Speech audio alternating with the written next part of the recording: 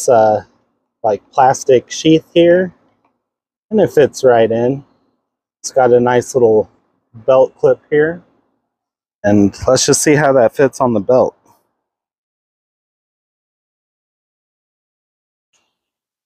All right, fits just fine. I kind of have a thicker belt. It's made to hold a gun and it comes out just fine. So